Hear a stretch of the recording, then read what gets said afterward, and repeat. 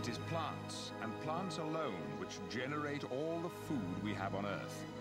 Without them, ours would be a dead planet. And four billion years ago, that's just what it was. Dead. A forbidding, hostile place. Bombarded by ultraviolet radiation. The planet's surface sealed with poisonous gases. Yet in such conditions, strange carbon compounds formed with power to reproduce themselves. From them appeared the first primitive cells of life. Drawing energy from the sun, they began to make their own food, some combining water with a chemical we know as chlorophyll. And this produced an important byproduct, bubbles of oxygen.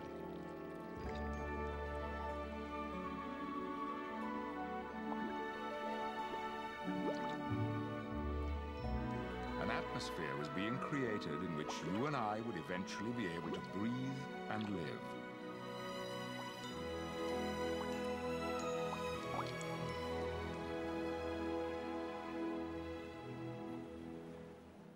Two billion years ago, this was the scene where land and sea met. In the next billion years, the oxygen was gradually, gradually accumulating, some of it forming a shield of ozone in the upper layers of the atmosphere.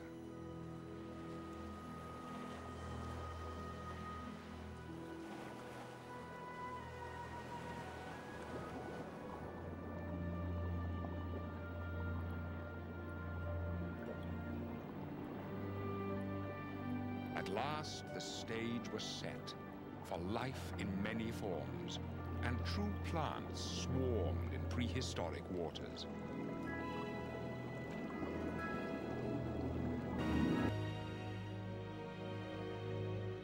But we can no longer take for granted the age-old rhythms of nature.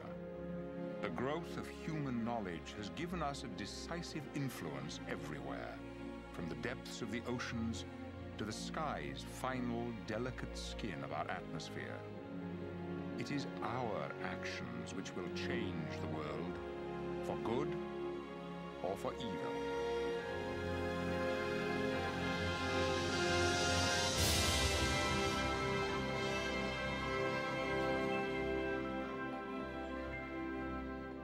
The sheer joy of our existence, we must love and cherish those delicately balanced forces of nature which are enshrined in the green contract.